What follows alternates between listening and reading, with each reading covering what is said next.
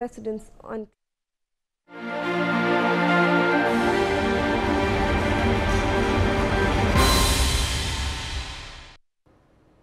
A very good evening. You're watching NewsX and I'm Shivani Singh. A rare interstellar phenomenon is currently sweeping across the solar system. Discovered by the Atlas survey earlier this year, the 3I Atlas comet is making its journey across our solar system. Spotted in July this year by NASA's Atlas survey in Chile, it's the only third known object to come from beyond our solar system. Unlike regular comets born in our solar system, the 3I Atlas comes from another star system. Its path cutting through space on a hyperbolic orbit, meaning it will never return. Astronomers say it's unusually rich in carbon dioxide and other ices, giving vital clues about how distant planetary systems might have formed.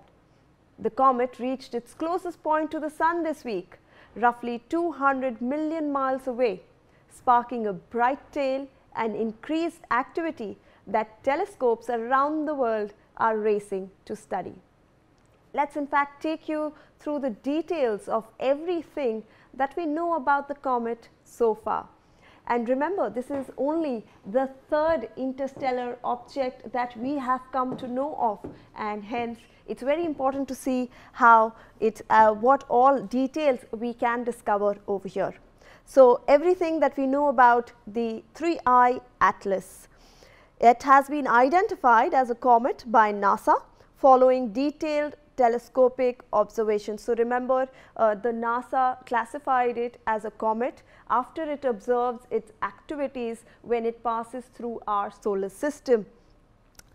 It has been labeled as 3I meaning it is the third interstellar object ever detected entering our solar system. So, you, we usually have naming systems on how it is named and since this was the third interstellar object that we have discovered, it is named as 3I and Atlas comes from the system that actually discovered this comet. Now, the interstellar object currently is traversing through the solar system. So, you can see on your screens how it actually traverses through our solar system and remember this has come from another star system that is why it is an interstellar object. Now, the speed and trajectory show that it is not gravitationally bound to the sun. Now, remember viewers that uh, this is uh, on a hyperbolic trajectory and why it is so because the speed of it and how it is following the route also shows us that it is not bound to our star system and hence we came to know that it's come from another star system. There is no gravitational pull by the sun and it points to its origins in another star system. Hence, since it is not bound to our sun, it will obviously exit our solar system and it proves that it's come from another star system in the universe. Now, the speed of more than 200,000 kilometers per hour that is increasing as it approaches the sun. So, clearly we are seeing high speed velocity over here and it is not on a constant uh, flow that is going, it is increasing as it is approaching the sun and we just told you that this was the closest that it has appeared uh, around the sun this week. Now, images also showed that the comet is becoming bluer than the sun and significantly brighter as it approaches the perihelion. So, uh, this is also an amazing fact that has come to the fore. It is burning brighter than the sun. It is appearing to be more blue than our own sun. According to astronomers, the sudden brightening exceeds rate of typical comets by several magnitudes. So, usually when we measure uh, the brightening of the comets and you know they, de they develop a tail, we measure it in magnitudes and it is showing that now when studies are seeing, we are seeing that the magnitude is many times than the normal comets that we actually observe.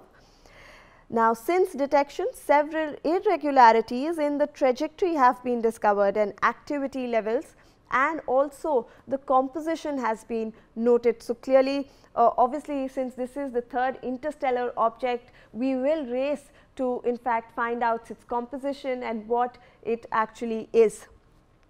It will soon emerge from behind the sun and it is expected to be visible again by late November. So, as we mentioned it is racing past the sun and again it will again uh, you know be visible in November late this year. It emits a stable pulse sequence that appears to follow Fibonacci pattern found in the DNA in plants and in galaxies. So, that is another important point that we are uh, you know we have discovered that there is a you know stable pulse uh, frequency uh, sequence uh, at the frequency of 14,020 megahertz. So, this stable pulse frequency actually resembles a lot to a, a lot of things in nature as well and the stable pulse sequence at frequency of 14,020 megahertz also known as SETI and the interstellar calling challenge. So, clearly these are some very important points and facts that we have discovered about this third interstellar object. Joining me on the broadcast is Jayant Murthy. He is a professor retired of the Indian Institute of uh, Astrophysics. Thank you sir for joining us. Uh, a, a, very good uh, a very good evening to you. Appreciate your time. First off, why is this comet so different and why are we racing to study it? Let me first uh, say that it is actually not so different. Uh, they're, uh, as they get, uh, as they study it more and more, they're finding things, they're finding the water, they're finding carbon dioxide, stuff that is uh, characteristic of comets. Now, one of the problems is that it's so far away that it is hard to, to uh, study properly. And uh, one may not expect it to be exactly like the comets in our own solar system, just again, because it comes from so far away. So uh, I, I, would say that there's nothing really unusual about it. It's important to learn more and more about it because it, uh, it comes from a completely different solar system and uh, that's what we should hope to do and what we should do with the with the other visitors that are bound to come. So we also have uh, you know we have detected unusual composition or you know high levels of uh, co2 and nickel which also suggests that it's uh, older than our entire solar system. It's around 7 billion years old and it shows that uh, you know there are significant changes in what we have studied uh, as the composition of comets uh, so far goes. Yeah, but that that wouldn't be surprising at all. Uh, I, again, I would say that uh, that we really do need to get enough data to to to uh, see how it is different from local comets I, I think uh, there, there's a lot of uh, uh, chatter out there, and perhaps some results are exaggerated. But but I, I, I would say that that you need to you need to uh, get more data. You need to get more evidence, and uh, even if there are differences with our with our own comets, which would not be surprising. It comes from a different solar system, uh, and it is old seven billion years. I don't know. I don't know how old it is, but it is old. It's been traveling through space for uh, for a long time. So you wouldn't be surprised to find that it that the composition is different from from our own local environment.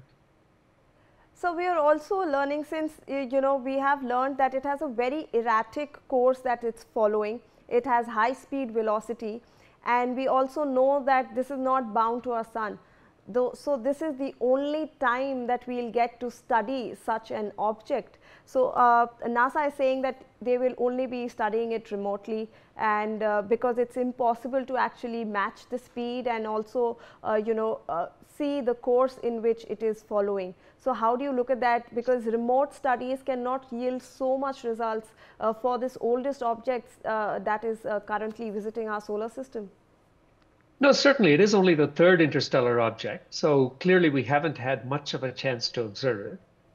Uh, so you do what you can. You observe it remotely now because that's what you have available. It's, there's just no way that any spacecraft you could build and launch a spacecraft to intercept this this object, 3I Atlas. But uh, what we will be doing is now that the Nancy Roman, uh, I'm, I'm, sorry, now that the Vera Rubin telescope is online, uh, that will be detecting probably dozens of such objects every year. And so it would be worthwhile thinking of how to have a long-term program when not for 3i Atlas, that, that you just, you, it will uh, exit the solar system and there's not, nothing we can do about it. But for the dozens of uh, objects that will be coming through in the next few years, it's worthwhile thinking of how we can build a spacecraft that's perhaps ready to go, perhaps sitting in uh, orbit around around the Earth, sitting in orbit around the Mars, ready to try to catch one of these objects. And that is something that should be looked at by by uh, NASA, by ISRO, by ESA, uh, by the Chinese Space Agency, by whoever can do it as a perhaps a, make a good international collaboration to have a spacecraft ready for the next object that comes through. All right. Mr. Murthy, I'll ask you to please stay on with us. Uh, we have some more inputs that we'd like to share with our viewers. Now, the comet's unusual trajectory as well as the irregularities observed in its activity levels and composition have led to a number of theories and speculation about it. Let's take you through some of the theories being made by prominent personalities. First, we have Harvard astrophysicist Avi Loeb, who observed how the best image of the comet was taken when it came 30 million kilometers of Mars. This has led to the astrophysicist to claim that this contradicts NASA's assertion that an atypical jet evolved into a conventional tail. Loeb has claimed that NASA has not publicly released a photograph of the interstellar comet allegedly taken by the HiRISE camera aboard the Mars Reconnaissance Orbiter. Loeb said he reached out directly to the principal investigator of uh, uh, HiRISE requesting access to the data as a scientist, but never received a response. Physicist Brian Cox was another one to come forward with a theory. His observation was that the comet formed seven and a half billion years ago, pointing it to being made before the sun and being formed out of clouds of dust. This has led him to claim that the 3i Atlas is a completely natural object made of carbon dioxide, water, ice and cosmic dust. Astrophysicist Neil deGrasse Tyson on the other hand has observed that the comet's weird properties don't match the usual models that we have for comets and asteroids. However, Tyson has asserted that to take it as proof of extraterrestrial life is a huge leap. American uh, theoretical physicist Dr. Michio Kaku meanwhile has observed that if the comet picks extra energy around the sun, it might indicate an intelligent visitor. Dr. Kaku elaborated that the comet's upcoming solar pass will allow researchers to observe a phenomenon known as the Oberth effect, noting that in normal physics, energy going in equals energy coming out. And so, if the object gains extra energy by passing the sun, it might signal that an intelligence is guiding it. Mr. Murthy, we just pointed out some of, uh, you know, some various personalities who have their own theories to tell since it's a it's the third, like you have pointed out, third interstellar object. We don't know a lot about it and obviously speculations will be rife regarding its composition, its origin. But how do you look at it? Some of them have called it, uh, you know, an alien technology that might have just entered the our solar system to study it. No, look, science is not a popularity contest, contest, and you can't just have people coming out, especially people with no expertise in the field. None of the people you cited actually work on comets or work on uh, exoplanets or, or anything like that. They're just uh, people just spouting off. And you will get people doing that. You'll get people saying things. All we can do with this one is say that we don't know enough. Maybe it is an interstellar, uh, maybe, I mean, who knows? Maybe it is an interstellar spacecraft, but the chances of that, how, how can you say that? It's like you can you can say Comet Halley is an interstellar spacecraft. It's just it, it's just talking without any evidence. Science rests on evidence. You have to have evidence. And so what we can do, there's not much more we can say about 3i Atlas, uh, if you're making extraordinary claims, you have to have extraordinary data, and you don't. You don't have the data to say anything real about it. So all we can say is that it, it's an interesting object. It, it's a fascinating object even because it comes from somewhere else. It doesn't come from within our solar system. We try to we try to learn as much as we can about it. So far, everything suggests that everything is uh, uh, says that is consistent with it being just a comet from another from another solar system. That's all it is. Another a comet from another stellar system. Anyone can say it's whatever they want, but really we need the data. And that's why what we need to do is we need to prepare for the next ones that will come through. There will be many more.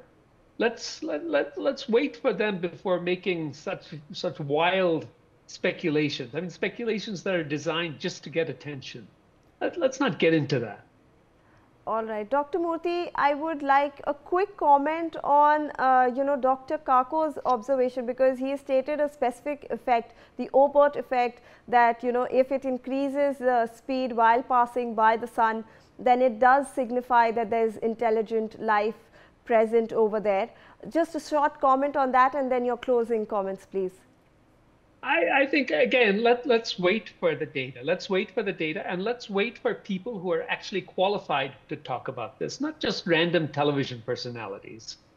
Let's have people who who spend their time, who spend their life doing the science. Let's have them comment on this. Once you get a, a, a respectable paper in a respectable journal, then you can say, okay, let's let's take this seriously. But this takes time. Science is not done by by by press releases. It's not done by by people just just talking off the top of their heads. It's done by hard work and, and uh, spending time actually thinking about things, trying to figure out how things work. So let's wait for that. Absolutely. Thank you, Dr. Murthy, for introducing our viewers to the various perspectives of this oldest member of, uh, you know, uh, an object that is actually visiting our solar system. We're shifting focus now.